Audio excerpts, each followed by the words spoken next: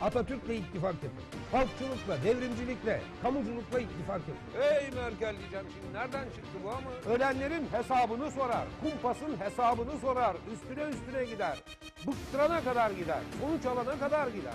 E gazetelerimiz var, çayımız var Allah'a şükür, defter kalemimiz var. Patlıcana bak şimdi, patlıcan. Terbiyesiz patlıcan. 23.95 artılır mı? Topraklarda Mustafa Kemaller yenilmez. Bunu birileri öğrenecek.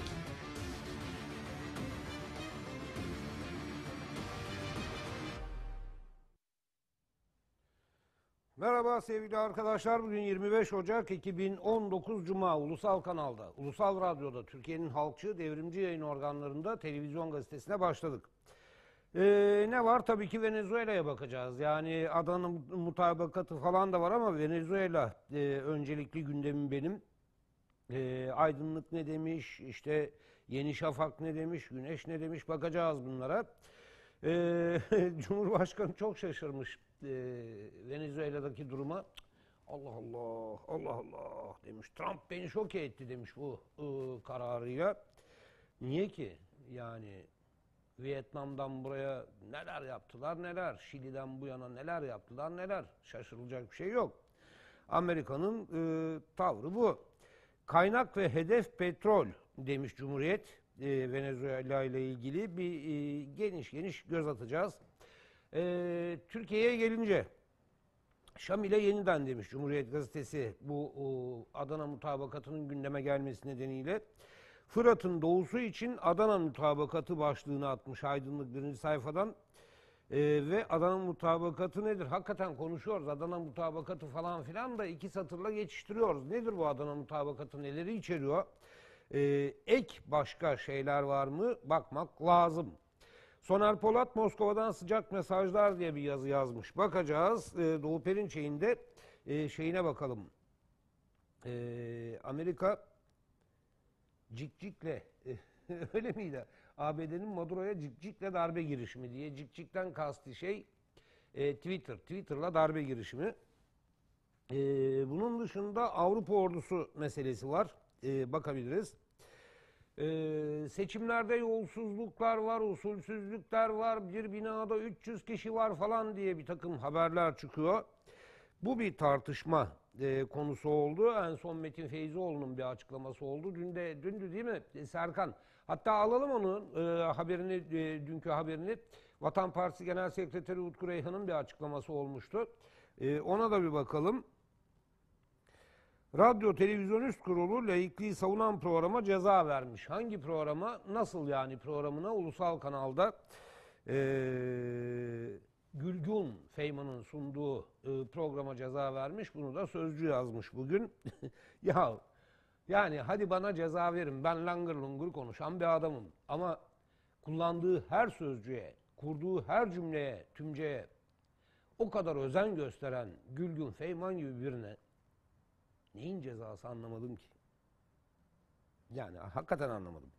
Dün Uğur Mumcu ve Ali, Ali Gaffar Okkan'ın e, ölüm yıl dönümüydü. Çeşitli kentlerde, birçok kentte diyelim biz ona e, saygıyla anıldılar. Bunların da haberlerini alalım Serkan. Bunları da vermeye çalışalım. Ama dediğim gibi nereden başlayalım? Emel değil mi bugün yönetmen? Hı? Emel. Nereden başlayalım? Venezuela'dan başlayalım. Hadi başlayalım.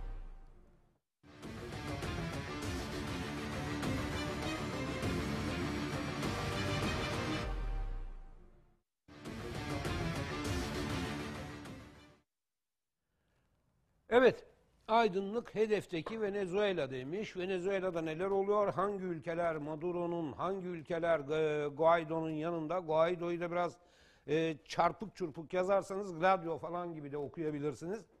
Maduro neden hedefte Venezuela ordusu hangi açıklamayı yaptı? Rus uçağı niye Karakas'ta? O ülkenin en büyük gelir kaynağı olan petrol nereye akıyor? Sosyal devlet fakirlik mi getirdi? İkili meclis krizi nasıl aşılır?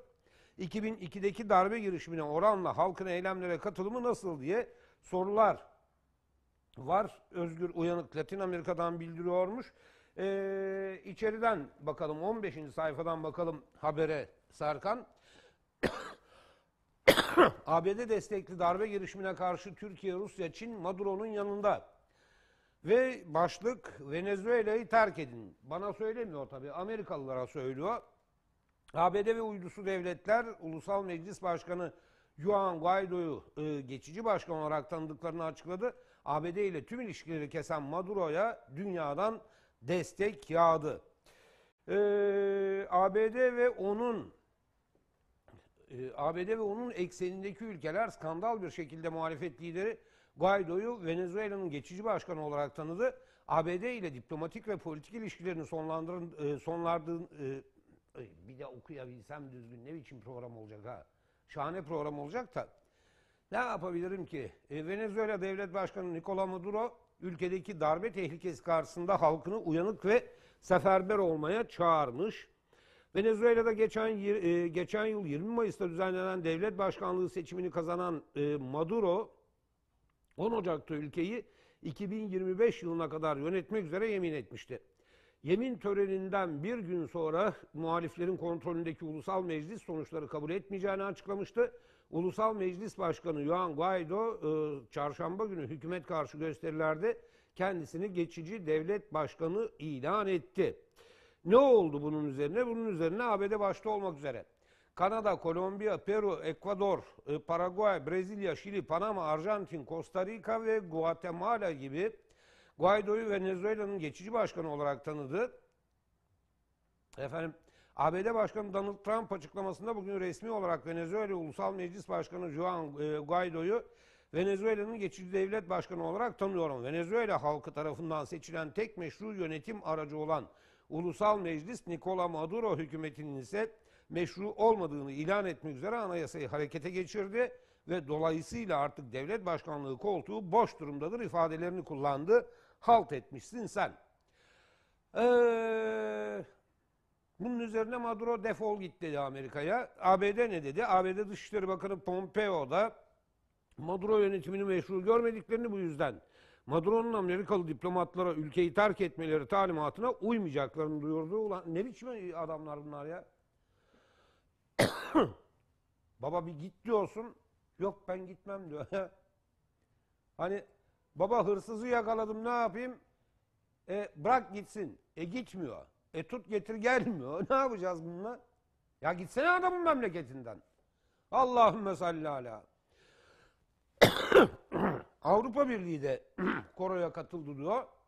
Bu arada Cumhurbaşkanlığı Sözcüsü İbrahim Kalın, Cumhurbaşkanımız Venezuela Devlet Başkanı Nicolas Maduro'yu arayarak Türkiye'nin desteğini ifade etti ve Maduro kardeşim, aynen böyle demiş ha. Maduro, kardeşim, dik dur, yanındayız dedi. Türkiye Cumhuriyeti, Türkiye Cumhurbaşkanı Erdoğan'ın liderliğinde bütün darbe girişimlerine karşı ilkeli duruşunu koruyacaktır açıklamasında bulundu. Kalın mesajının sonunda da We are Maduro etiketine de yer verdi diyor. Bir dur, bir dur, bir dur. Çıkma, çıkma. Şurada bir şey var, ilginç bir şey var. Şurada, şurada, şurada. Heh. Moskova'dan Karakas'a bir jet gitmiş. O niye gitmiş? Maduro'nun ABD diplomatlarının ülkeyi terk etmesini istemesinin ardından Moskova'dan kalkan Gulfstream G550 tipi bir jetin başkent Karakas'a inmesi dikkat çekti. Sosyal medyada bu uçağın Türk tescilli olduğu iddia edildi. Çift motorlu jet 12.900 kilometre menziliyle de dikkat çekiyormuş. Niye gitmiş bu jet? Ben de anlamadım. Ee, bakalım. Bakalım. Evet çıkalım biraz yukarıya. Evet. Ee, bir e, Vatan Partisi heyeti dün e, ziyaret etti Venezuela Ankara Büyükelçisi'ne ABD'nin darbe girişiminin ardından Vatan Partisi Genel Sekreteri Utku Reyhan, Vatan Partisi Genel Başkan e, Baş Danışmanı eski Milli Savunma Bakanı Barlas Doğu, Genel Sekreter Yardımcısı Yusuf Tunçer ve Genel Sekreter Yardımcısı Rabia Ulaş'tan oluşan heyet Venezuela'nın Ankara Büyükelçisi Jose Gregorio Bracho Reyes'i ziyaret etti. Büyükelçi Reis desteklerinden dolayı Vatan Partisi'ne teşekkür ederken Venezuela'da yasal e, tek bir hükümet olduğunu belirterek Trump ve beraberindekiler Venezuela anayasasını okumamışlar. Bir şarlatan Trump'tan aldığı destekle kendisini başkan ilan etmiştir ama onun bir meşruiyet sorunu vardır dedi. Vatan Partisi Genel Sekreteri Utku Reyhan da Türkiye'nin bütün milli güçlerinin Venezuela halkının yanında olduğunu kaydederek bu iki ülkenin kaderi emperyalizme karşı ortak mücadeledir. Bu nedenle ortak mücadele edilmesi gerekmektedir dedi. E, başka e, ne var? Başka bilgiler neler? Onlara da bakalım.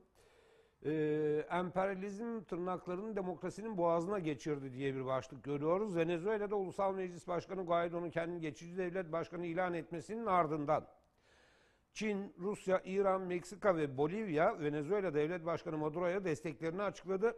Rusya Dışişleri Bakanlığı Sözcüsü Maria Zaharova, ABD, Kanada ve Avrupa Birliği'nden Guaido'ya destek gelmesine tepki gösterdi. Zaharova yaptığı açıklamada Venezuela'daki olaylar ilerici Batı toplumunun or- e, oradaki iktidarı ele, e, elle değiştirerek uluslararası hukuka, egemenlik ve devletin iç işlerine karışılmasına nasıl baktığını örnektir demiş.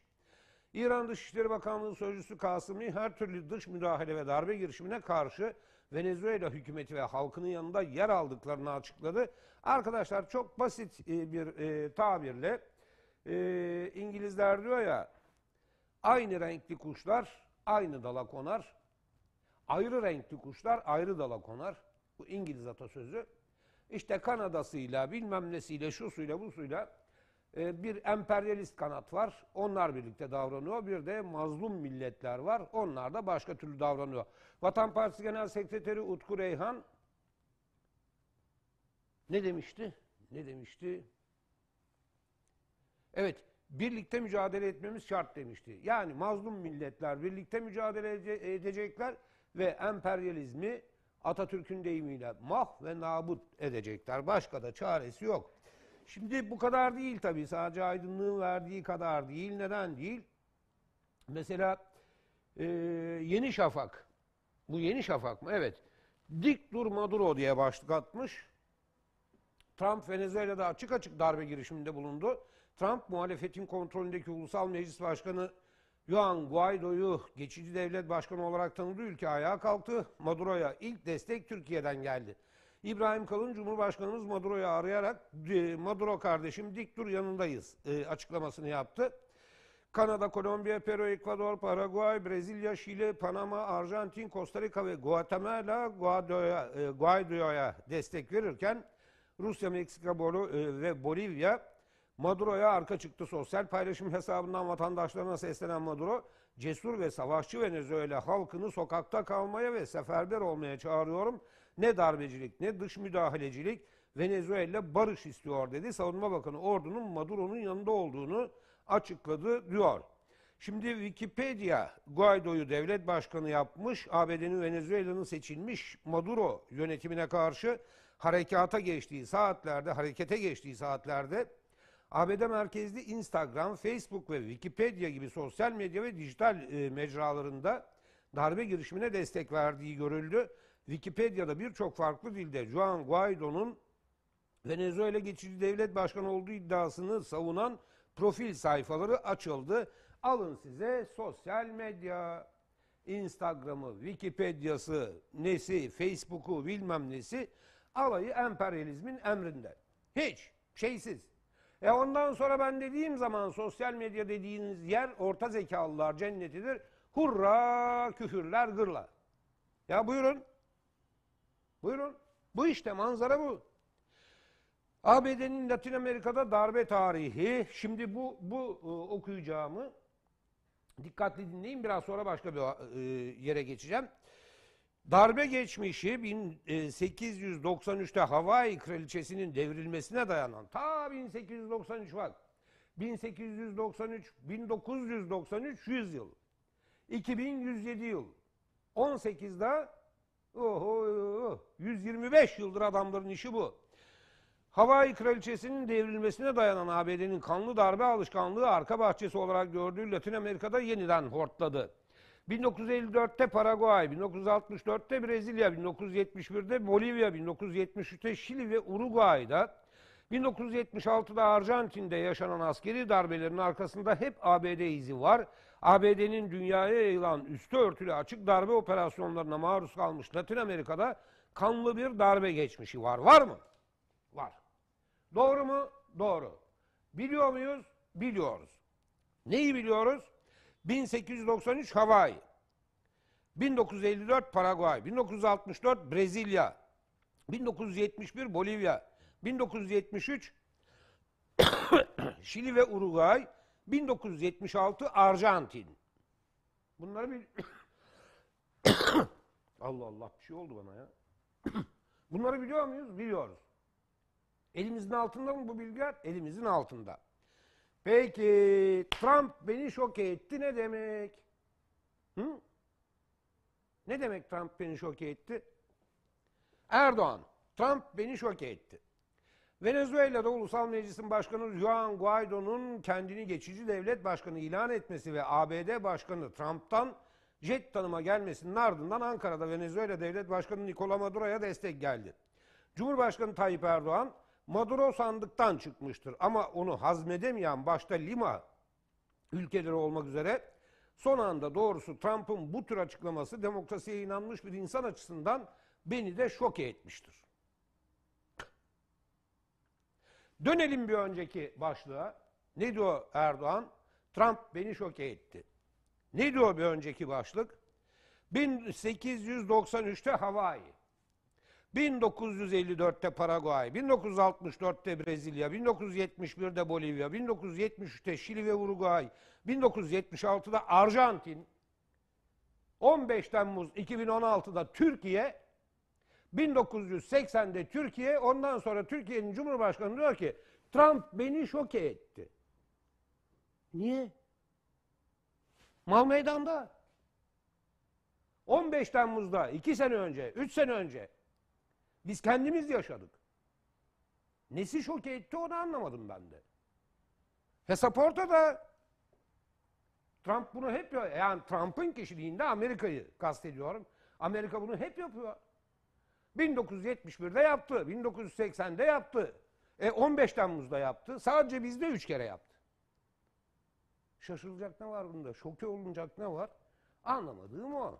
Yoksa bana ne ya ama o şoke olmuş, bu olmamış. Ben ne yapayım ya? Değil mi yönetmen?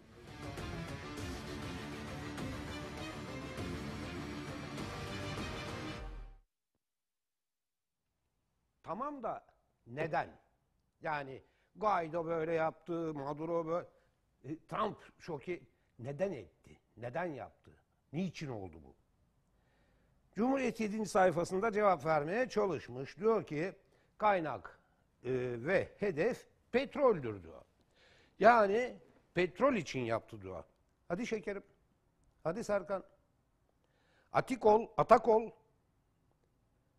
Ya Serkan daha dün Ümraniye'ye yenilmişiz, kupadan elenmişiz. Daha ne istiyorsun yani? Niye aksak, aksaklık çıkartıyorsun anlamadım ki. Doğan Ergün yazmış Cumhuriyet'te. Kaynak ve hedef petrol. Venezuela'da eski devlet başkanı Hugo Chavez'in önderlik ettiği Bolivarcı devrimin ilk yıllarından itibaren uluslararası müdahale ve darbe girişimleri eksik olmuyor. Dünyanın en büyük petrol rezervine sahip, ham petrol bakımından en büyük ihracatçı olan Venezuela, 6.4 trilyon metreküplük doğal gaz rezerviyle de bu alanda ilk 10 ülke arasında. Venezuela altın rezervlerinde ise dünya ikincisi. Bolivarcı devrimin önemli hedeflerinden biri özellikle enerji alanında kamulaştırma. Oo, bunlar baltayı taşa vurmuş. Enerji alanında kamulaştırma. Ne diyordu? Musaddık diyordu değil mi? Gazeteci İsmail Saymaz. Nevşin Mengü'de ne alakası var Musaddık'la? E Musaddık da İran petrollerini devletleştirmişti, kamulaştırmıştı. Ama Nevşin Mengü cahil bir kadındır. Bilmez bunları. Bilmez, anlamaz. Eee... Bolivarcı devrimin önemli hedeflerinden biri özellikle enerji alanında kamulaştırma, ekonomik ve sosyal programlarla kaynakların yoksullar için kullanılmasıydı.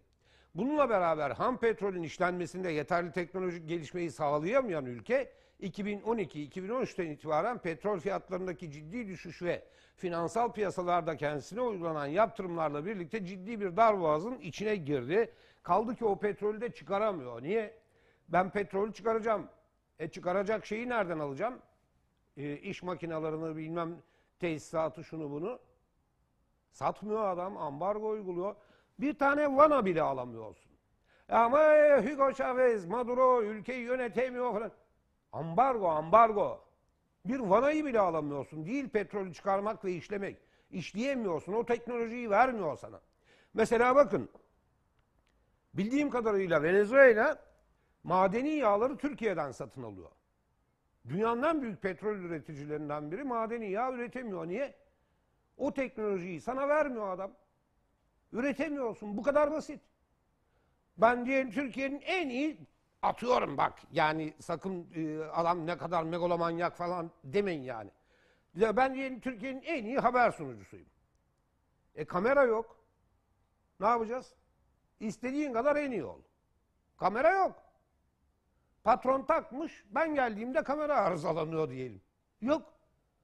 Yapamazsın. Eh, eh, eh, eh.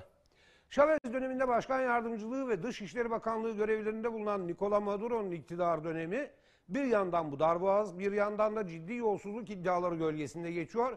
Bugün bu yolsuzluk iddialarını da kimin gündeme getirdiğine bakmak lazım. Bu çok dolaşıyor bu laf ama kim söylüyor bu yolsuzluk var diyor ona da bakmak lazım. Bugün muhalefetin lideri konumuna yerleşen Ulusal Meclis Başkanı Juan Guaido'nun ekonomi politikasında ise geniş kapsamlı özelleştirme politikaları, yabancı sermaye girişi ve serbest piyasanın önünün açılması gibi maddeler e, bulunuyor. Anladınız mı şimdi niye bu adamı yapmak istiyorlar, başkan yapmak istiyorlar? Bir tarafta kamucu, bir tarafta özelleştirmeci. Bu kadar basit. Venezuela'da güncel duruma ilişkin görüşlerini aldığımız İstanbul Üniversitesi Uluslararası İlişkiler Bölümü öğretim üyesi Doktor Ertan Erol sürecin ABD ve müttefiki olan bölge ülkeleri tarafından planlı bir şekilde ilerletildiği görüşünde Chavez iktidara geldiğinden bu yana kendini konsolide eden bir muhalefet olduğunu görüyoruz. Buna karşın katılımcı demokrasi uygulamaları devam etse de ekonomik yapıda sosyalizm yönünde sağlıklı bir dönüşüm sağlanamadığı ifadelerini kullanan Erol, ham petrole dayalı ekonomik yapıda bir değişim yaşanmamasının önemini vurguluyor. Ya, ya bir değişim yaşanamaz. Onu anlatıyorum. ham petrolün dönüşümü konusunda hiçbir teknolojiyi vermiyor adam sana. Hiçbir makineyi vermiyor. Hiçbir üretim aletini vermiyor. Ne yapabilirsin ki? Yani işin temelinde dünyanın en büyük petrol ve doğal gaz yatakları ve altın e, potansiyelinin bulunduğu bir ülke var ve bu ülkede bu zenginlikleri Juan Guaido'nun eliyle Amerika'ya aktarmaya çalışan bir Trump var. Yani bu koşullar altında Trump beni şok etti demenin de pek bir alemi olduğunu efendim ne yapmıyorum? Ne yapmıyorum Ömer sence? Düşünmüyorum. Bu kadar basit.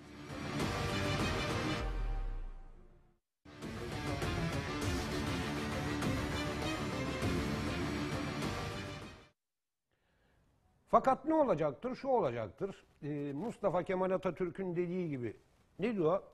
Güneşin nasıl doğudan doğduğunu görüyorsam emperyalizmin mutlaka mah ve nabut olacağını da görüyorum diyor. Bütün dünyada, dünyanın her tarafında yenile yenile geri çekiliyor Amerika. Bakın bu şeyde olan Venezuela'da olan Amerika'nın bir yenilgisidir. Yıllardır çalışıyorlar. Yıllardır çalışıyorlar devirmek için. Geçen yıl Mayıs ayıydı zannediyorum. Dronlarla suikaste giriştiler. Defalarca yaptılar. Chavez'i tuttular. Ne bileyim işte e, tutukladılar şu bu. Ama yeniliyor. Latin Amerika'da da yeniliyor. Bakmayın o Kolombiya'ya şuna buna. Onlar devlet değil. Amerika'nın şeyleri, bekçi köpekleri. Ama karşılarında yepyeni bir dünya kuruluyor ve başka da çareleri yok. Çekip gidecekler. Ee, Türkiye'ye bakalım. Türkiye'de de önemli gelişmeler var. Özellikle Suriye konusunda ama bir reklam arası verelim ondan sonra bakalım.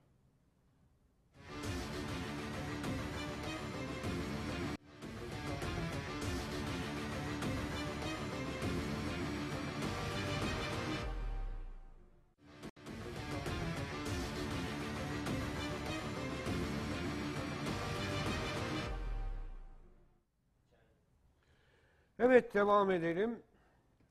Neyle devam edelim? Biraz da kendimize bakalım değil mi? Venezuela'ya baktık yeterince mesele anlaşılmıştır. Ee, şeyle e, şeyin ben iyice yaşlandım ya.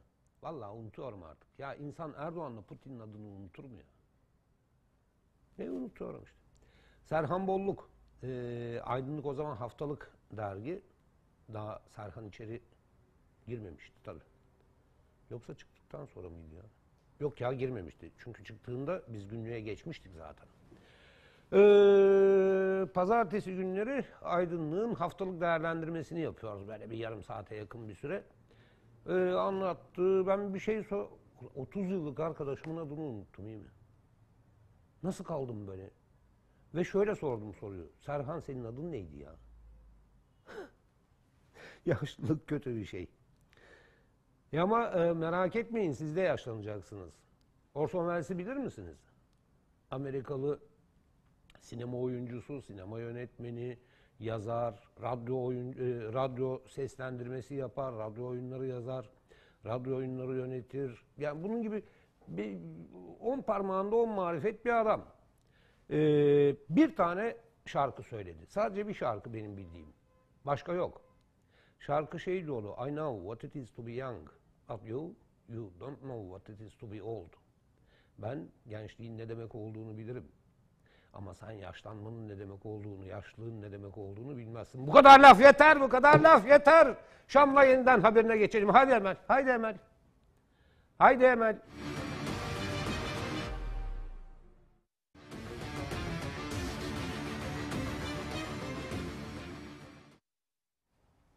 Evet, e, önceki gün e, Putin ile Recep Tayyip Erdoğan görüştü. Görüşmeden önemli sonuçlar çıktı. E, bunu Cumhuriyet Gazetesi Şam ile yeniden başlığıyla vermiş. Aa bu Özgür değil mi? En son Uğur abinin evine gittiğimde Özgür 6 ya da 8 yaşlarında bir çocuktu böyle küçücüktü. Kocaman olmuş be. Gülden Hanım kahve getirirdi bize. Uğur abiyle sohbet ederken. Özgür de öyle, bunun bir de ablası vardı. Özge miydi? Galiba Özge'ydi ya. Bir dakika ya biz Şam'la yeniden haberine bakıyorduk değil mi? Ee, Putin telkin etti. Ankara Suriye ile temas işareti verdi. Ee, Adana mutabakatı. Rusya lideri Putin Moskova'da görüştüğü Erdoğan'a ABD'nin Suriye'de önerdiği güvenli bölgeye karşı Adana muta- mutabakatını anımsattı. 1998 tarihli anlaşma Türkiye ile Suriye arasında terör örgütleriyle ortak mücadeleyi ve doğrudan temas mekanizmalarının kurulmasını içeriyor. Cumhurbaşkanı Erdoğan dün Kara Harp Okulu'ndaki programda Adana mutabakatının üzerinde ısrarlı bir şekilde durmamızın gerekliliğini daha iyi anlıyoruz dedi. Dışişleri Bakanı Çavuşoğlu ise mutabakatın Türkiye'nin Suriye'deki teröristlerle e, teröristlere müdahale hakkı tanıdığını savundu. Profesör Mithat Çelikpala, Adana mutabakatını anımsatan Putin'in Ankara ile Şam'ı görüştürmek istediğini belirtti. Çelikpala, protokol yaşama geçirilecekse Türkiye'nin Esad'ı doğrudan muhatap alması gerekiyor dedi. Aslında ben size bir şey söyleyeceğim. Aramızda kalacak ama bak. Kimseye söylemeyin. Erdoğan öyle bir istiyor ki görüşmeyi. Çünkü hayat öyle bir dayatıyor ki böyle hani "Ah, bir görüşsek ya falan havasında. Ama söyleyemiyor. Söyleyemiyor yani. Ama dünya alem de biliyor. Erdoğan'la Esad görüşürse bir el sıkışırsa bütün sorunlar çok kolay çözülecek. E, Putin de Erdoğan'ı Esad'la görüştürmeye e, itiyor. Yalnız bu 98 tarihli anlaşma deniyor ya, hep bunun üzerinde konuşuluyor ya. Erdoğan döneminde, AKP hükümetleri döneminde 2010 olabilir, 11 olabilir. Bakın e, siz de yanıltmayayım. Bizzat AKP hükümetinin aynı anlamda imzaladığı bir sözleşme var Suriye ile. Ee, şimdi Mehmet e, dinliyordur Mehmet Kıvanç haber müdürümüz. Onu çok kolay çıkartır. Bültenlere de e, koyar. E, ben bunun farkındayım. Ama bir anlaşma daha var. O anlaşma gözden kaçırılıyor. Bir. iki Adana mutabakatının sanki muhatabı yokmuş gibi davranıyoruz biz. Bir Adana mutabakatı var ama bu mutabakatı kiminle hayata geçireceğiz? Bunu kimse konuşmuyor. Yandaşlar, mandaşlar hiç kimse konuşmuyor. Baksanıza Çavuşoğlu bile ne diyor? E, mutabakat Türkiye'ye Suriye'deki teröristlere müdahale hakkını tanıyor. E, ama Suriye'ye de bizimle ilgili bazı haklar tanıyor. Mesela mutabakat diyor ki Suriye, Suriye'de yakaladığı teröristleri Türkiye'ye teslim eder. E o zaman bizim de Suriye'de teröre bulaşmış adamları yakalayıp teslim etmemiz lazım değil mi? E yok mu bunlardan? Dünya kadar var. Yani bir takım taahhütler karşılıklı. Şimdi Şam'da bizi dinleyenler ne diyecek? Aa bak Çavuşoğlu bizi hiç hesaba katmıyor. Mutabakat hayata geçse ne olacak, geçmese ne olacak diyecek. Yani bir şeyi konuşalım ama karşılıklı konuşalım. Peki ne bu Adana mutabakatı? Hı? Neleri içeriyor? Bir bakalım mı? Şöyle bakalım. Türkiye ile Suriye arasında PKK ve uzantısı terör örgütlerine karşı ortak mücadele mekanizması kurulmasını sağlayan Adana Mutabakatı 20 Ekim 1998'de imzalanmıştı. Mutabakata giden süreçteki olaylar şöyle gelişmişti. Dönemin Kara Kuvvetleri Komutanı Orgeneral Atilla Ateş 15 Eylül 1998'de Hatay Reyhanlı'da PKK elebaşı Öcalan'ın Suriye'den çıkarılmamasının savaş nedeni sayılacağını vurgulayan bir açıklama yapmıştı. Türkiye'nin kararlılığını gören Hafız Esad liderliğindeki Suriye yönetimi Öcalan'ı sınır dışı etme kararı almıştı. Öcalan 9 Ekim 1998'de Suriye'den gönderildi. Öcalan'ı sınır dışı eden Suriye yetkilileri 11 gün sonra Türk yetkililerle Adana'da PKK terör örgütü ve uzantılarına karşı ortak mücadele mekanizması kurulmasını içeren bir mutabakat imzaladı. Mutabakat çerçevesinde oluşturulan mekanizma çerçevesinde bir cümlede aynı kelimeyi iki kere kullanmayın arkadaşlar. Yani yanlış demiyorum ama hoş değil. Yani çerçevesinde çerçevesinde. Her iki ülkenin güvenlik yetkilileri 2011 yılı ortalarına kadar 6 ayda bir toplandılar. 23 Aralık 2009'da Suriye ve Türkiye İçişleri Bakanları arasında aynı mutabakat çerçevesinde güvenlik işbirliği anlaşması imzalandı. Bak ha 2009'muş. Ayrıca 21 Aralık 2010'da Ankara Türkiye ile Suriye arasında Ankara'da Türkiye ile Suriye arasında Adana mutabakatını ve diğer anlaşmaları genişleten terör örgütlerine karşı işbirliği anlaşması imzalandı. Bakın Adana mutabakatı tek değil. Bunlar var ve daha geniş. Anlaşmanın uygun bulunduğuna dair kanun 6 Nisan 2011'de mecliste kabul edildi ve Cumhurbaşkanı'nın onayından sonra 26 Nisan 2011'de resmi gazetede yayınlandı.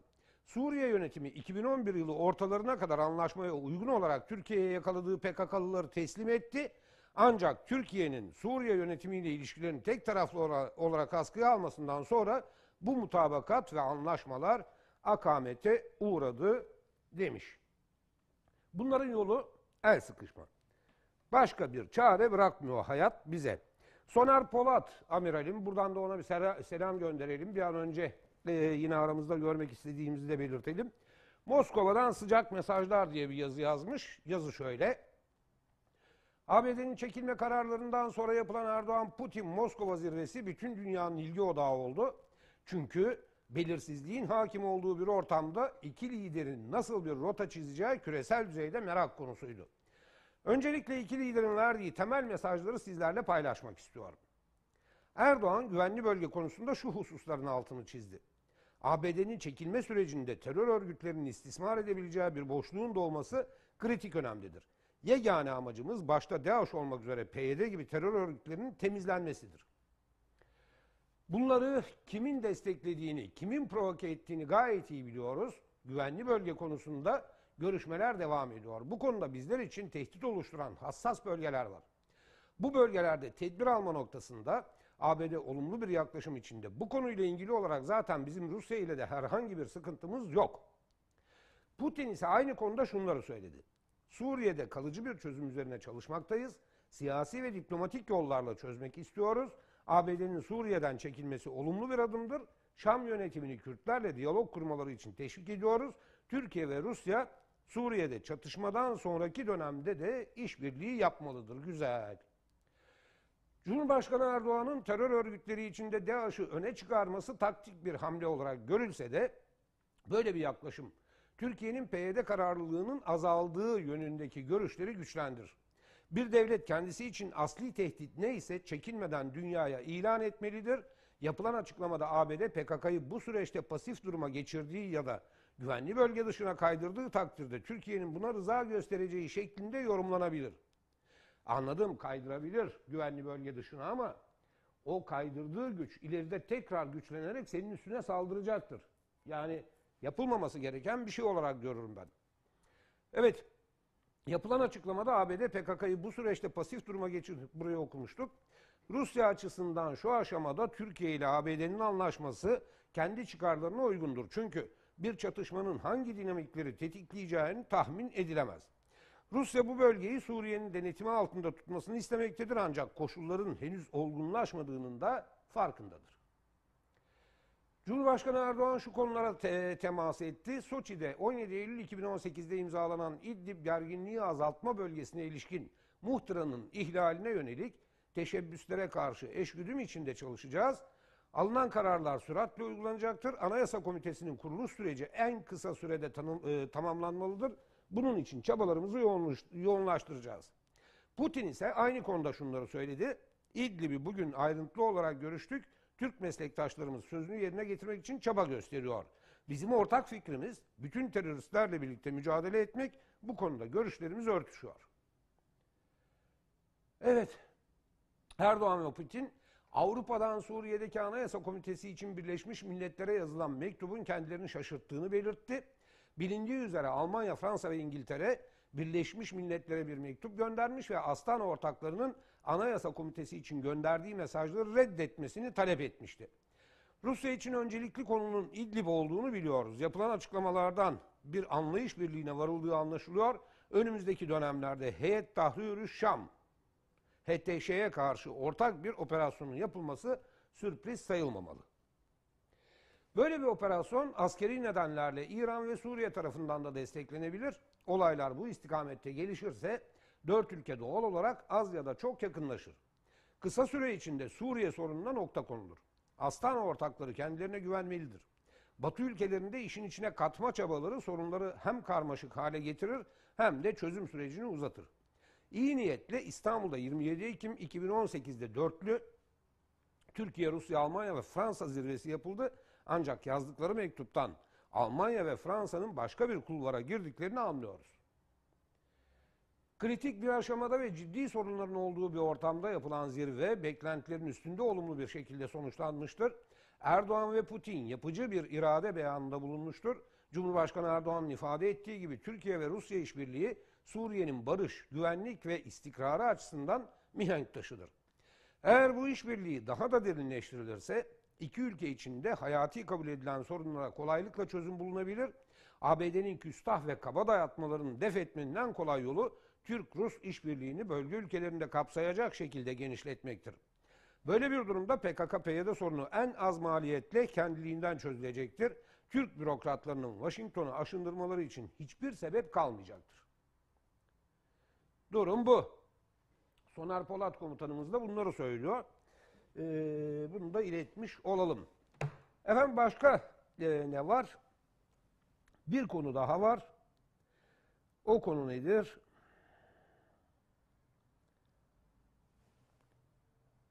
Sandığı itibarsızlaştırmak. Metin Feyzoğlu konuştu dün. Türkiye Barolar Birliği Başkanı Metin Feyzoğlu yerel seçimler öncesinde uyarılarda bulundu. Son günlerde hayali seçmen haberlerinin arttığına dikkat çeken Feyzoğlu, Yüksek Seçim Kurulu olmayan seçmene oy kullandırırsak kıyameti koparırız ama klavye başından sandığın değerini itibarlaştırma, itibarsızlaştırmak Türkiye'yi felakete götürür dedi. Herkes konuşuyor. Şu kadar bilmem ne şu. E, nasıl ya? Bakın Vatan Partisi Genel Sekreteri Utku Reyhan re- yerel seçimlerde usulsüzlük yapılacağı iddialarına tepki gösterdi. İddiaların gerçeği yansıtmadığını belirten Reyhan, muhalefetin yenilgiye kılıf hazırlamaya çalıştığını söyledi. Yüksek Seçim Kurulu'na güvendiklerini kaydeden Reyhan, seçimlerde hile yapılacağı söyleminin terör örgütleri tarafından kullanılabileceğini vurguladı. Büyük bir çoğunluğunun bu iddiaların gerçeği yansıtmadığını tespit ettik. Vatan Partisi'nden seçimlerde usulsüzlük iddialarına tepki geldi. Vatan Partisi Genel Sekreteri Utku Reyhan, son dönemde artan sahte seçmen ve usulsüz oy kullanımı iddialarına ilişkin açıklama yaptı. Oralardaki belediye başkan adayları, muhtar adayları, meclis üyesi adayları bir evde 20 kişi gösterirler, 30 kişi gösterirler. Ulusal kanala konuşan Reyhan, muhalefetin bu iddiaları neden ortaya attığını anlattı. Yenilgiye kılıf arama çabası yani 1 Nisan'da hazır bir bahane olmuş oluyor elinizde. Vatan Partisi Genel Sekreteri Utku Reyhan, seçimlere hile karıştırılacağı iddialarının meşruiyet tartışmalarını da beraberinde getireceğini söyledi. Yani seçim sonuçları şaibelidir. Dolayısıyla bu yönetimler meşru değildir. O halde e, şiddet olayları başlatalım.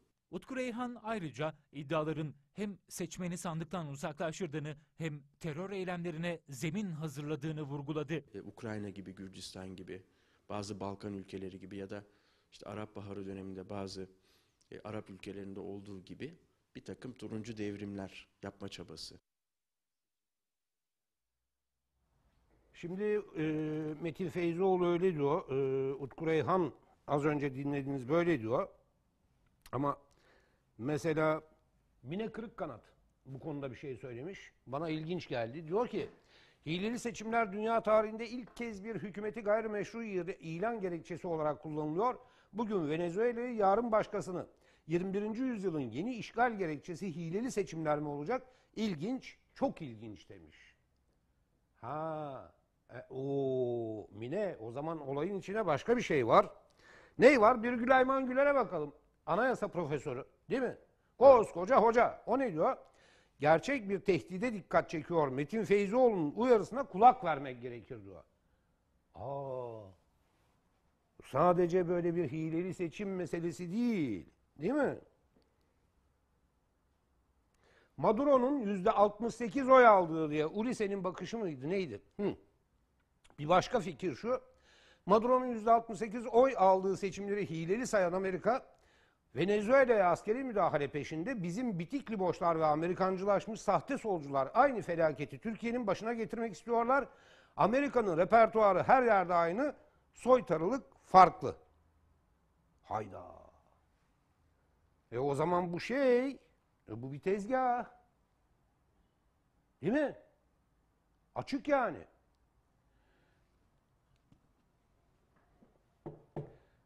Recep Tayyip Erdoğan'ı siyasi olarak benimsemiyorum. PKK ve FETÖ ile mücadelesini benimsiyorum. Suriye politikalarını benimsemiyorum. Astana politikalarını benimsiyorum. Ama bu benim Recep Tayyip Erdoğan'ı gayrimeşru ilan etmeme kadar gidecek bir düşmanlığa yol açacaksa o zaman bu Türkiye'ye Amerika'nın müdahalesini gerektirecek bir tavır olur. Bu da yanlıştır. Ben onun hoşuna gidecek, bunun gitmeyecek diye konuşmam. Doğru bildiğimi söylerim. Gerçekten bir yolsuzluk varsa gereğini yapalım. Ama eğer Amerika'nın Venezuela'da olduğu gibi başka yerlerde olduğu gibi Türkiye'ye müdahalesini gerektirecek bir tezgahın peşindeyseniz ihanet etmiş olursunuz. Usta gazeteci Uğur Mumcu katledilişinin 26. yıl dönümünde İstanbul ve Ankara başta olmak üzere yurdun birçok yerinde anıldı. Vatan Partisi, Türkiye Gençlik Birliği, Türkiye Gazeteciler Sendikası üyeleri duayen gazeteci için anma etkinlikleri düzenledi. Gerçeklerin halka ulaşmasını engellemek için gazeteciler her zaman hedef oldular. 24 Ocak 1993'te otomobiline konulan bombanın patlaması sonucu yaşamını yitiren gazeteci yazar Uğur Mumcu için anma etkinlikleri düzenlendi. 80'li yıllarda söyledikleriyle 90'lı yılların başında söyledikleriyle aslında bugünkü Türkiye'nin resmini nasıl çizdiğini görüyoruz. Duayen gazeteci ilk olarak İstanbul'da anıldı. Türkiye Gazeteciler Sendikası üyeleri Şişli'de bulunan Uğur Mumcu anıtına karanfiller bıraktı. Uğur Mumcu ve onun gibi gazetecileri katletseler de e, gerçekleri gizleyemediler. Ardından Türkiye Gençlik Birliği, Cumhuriyet Kadınları Derneği, Eğitim İş ve pek çok kitle örgütü Mumcu için yürüyüş düzenledi. gerçekleri yazan keskin kalemini satın alamadıkları için doğrudan ona hedef aldılar. layık, bilimsel, parasız ve kamusal bir eğitim mücadelesinde yeni Uğur Mumcular yetiştirmek için görevimizin başındayız. Ankara'daysa Vatan Partisi, Türkiye Gençlik Birliği ve Cumhuriyet Kadınları Derneği üyeleri bir araya geldi.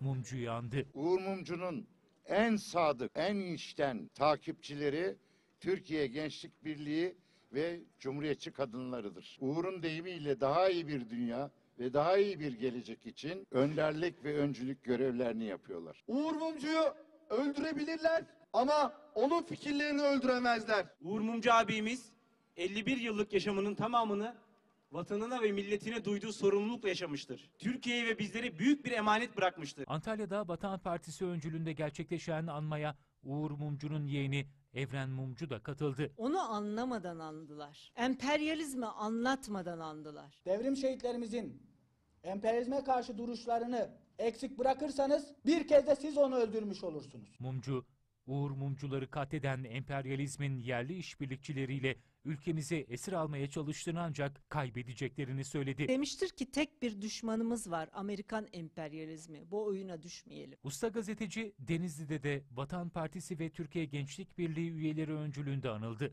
Ulu Önder Mustafa Kemal Atatürk'ün ilkeleri ışığında layık demokratik bir Türkiye'nin yılmaz savunucuları olmuşlardır.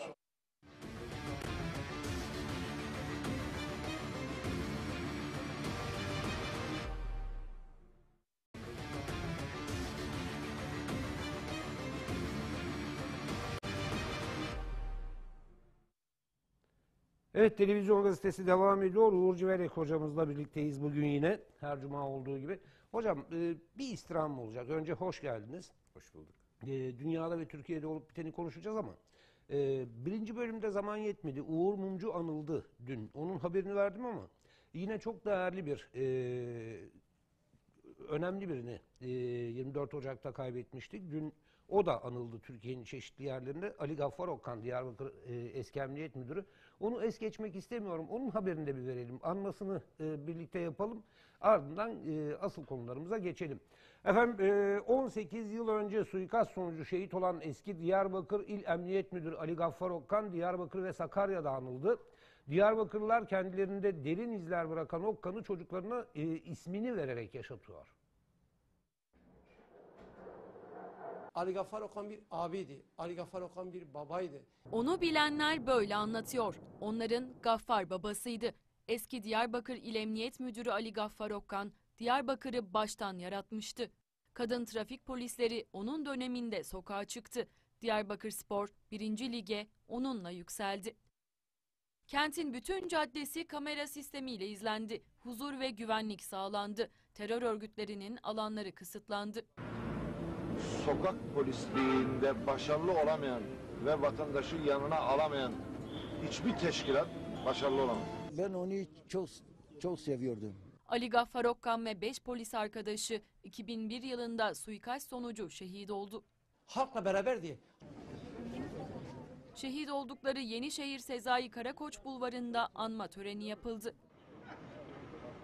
Bir anmada memleketi Sakarya'da yapıldı. Hendek ilçesindeki mezarı başında dualar edildi. Karanfiller bırakıldı. Vatan Partisi öncü gençlik üyeleri de Sakarya'da Okkan'ı andı. Mücadele azmimizi perçinlemek, bölücülüğe karşı Ali Gaffar Okkan olmak için buradayız bugün. Öncü Gençlik Genel Sekreter Yardımcısı Onur Özcan mezarı başında açıklama yaptı. Öldürdükleri, haince pusu kurdukları, kurduklarını sandıkları Ali Gaffar Okkan en canlı haliyle ayakta ve düşmanla çarpışmakta. Bugün Afrin'de Evet bir kez daha saygı ve rahmetle anlıyoruz Ali Gaffar Okkan'ı da.